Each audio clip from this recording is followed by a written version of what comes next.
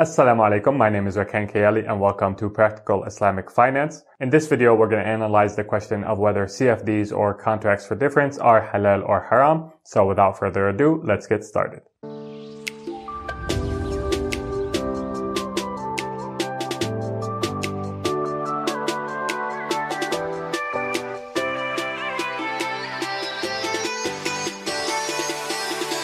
If you need halal funding and you live in the United States, make sure to go to fundmebff.com. If you're an investor and you're looking for a halal investment to make, make sure to go to fundmebff.com and apply to become an investor.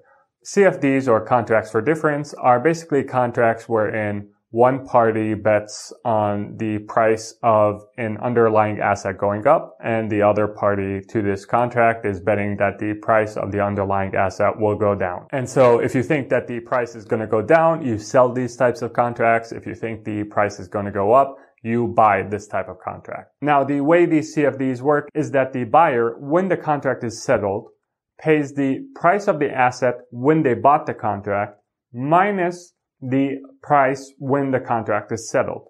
So the buyer pays the current price, basically the price of the asset when the CFD was purchased, minus the price when the CFD is settled, minus the price of the asset when the CFD is settled. So let's look at an example. Let's say you have one share of XYZ. And by the way, CFDs can be used for almost anything. They can be used for stocks or commodities or currencies. In our example, we'll look at a CFD that's written on a stock, and let's say that stock is XYZ stock.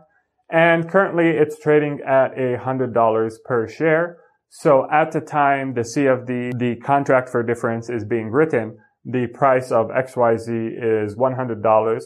Now the buyer thinks that the price is going to go to $150. The seller of this contract thinks that the price is going to go to $50. So at the time that the contract is settled, at the time that the CFD is settled, let's say the price was actually $150. In which case the buyer of the CFD would pay the price that the asset was at when they purchased the contract, which is 100, minus the price that the asset is at when the contract is settled, which is 150. So 100 minus 150 minus 50. So basically the buyer is owed $50. So they'll gain $50. And whatever the buyer earns, the seller loses. So the seller of the CFD will lose $50. On the flip side, if the price at the contract settlement time was $50 per share, then the buyer would lose $50 and the seller would gain $50. Again, whatever one side loses, the other side gains. There's a zero sum game here. Now, the appeal of CFDs is the fact that in order to own the price movement of the underlying asset, you don't have to put up as much money as you would have if you were to own the underlying asset outright. So what do I mean by this? Going back to our example of XYZ stock, that was trading at $100 per share. Let's say the margin rate for CFDs on that stock was at 10%. This means that if I want to own the price movement for XYZ stock, if I went the CFD route, all I would have to put up is 10% of XYZ's share price, which is $10. Whereas if I were to go the traditional route and own XYZ stock outright, I'd have to put up $100. So I'm owning the price movement for a lot less money in the case of CFDs. And that's the appeal that contracts for difference have. Now, obviously, this is a double-edged sword because just as your returns could be great, your losses could be great as well. Now let's talk about the matter of halal or haram. Now, I'm hoping for at least followers of this channel, this type of product does not pass the smell test. And this is for good reason. And now with my analysis of halal or haram, I'm not going to talk about the fact that they use margin. I'm not going to talk about interest on margin because if I do, I know that someone's going to ask me, oh, what if there's 0% interest on margin or I trade with CFDs without using margin for whatever reason. Someone's going to ask me that question. There's something more fundamentally flawed about CFDs. And this flaw relates to the matter of al-maysir. The translation of what Allah subhanahu wa ta'ala says about al-maysir in the generous Quran is the following. They ask you, O Muhammad, concerning alcohol and maysir. Say they contain great sin and benefit for people, but their sin is greater than their benefit. And they ask you, what should they give to charity? Say that which is more than your need. And so Allah shows you wisdom so that maybe you will think. And in another verse, the translation of what Allah subhanahu wa ta'ala says is, O you who believe, intoxicants, maysir, sacrificing for idols, and making decisions based on games of chance are sicknesses from the work of Satan. So avoid these things so you may prosper. Satan desires to create enmity and hatred amongst you through intoxicants and gambling, and to stop you from praying and remembering Allah. So will you abstain from these things? In a previous video, I explained that in order to identify Al-Maysir, you need to ask two questions. The first is, does this activity involve the creation of risk in hopes of gain? And the second question is, does this activity hold any prospects for creating any value?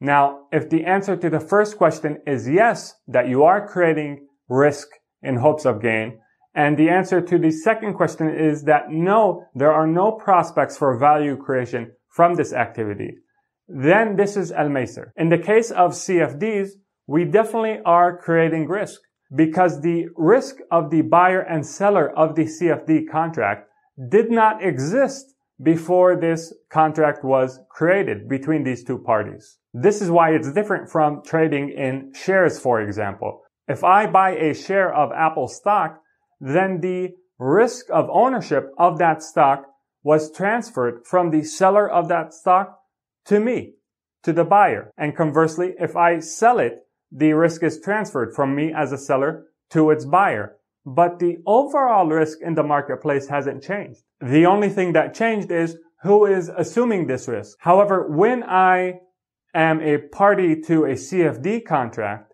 the risk that the buyer and seller created through this contract didn't exist prior to the contract's existence.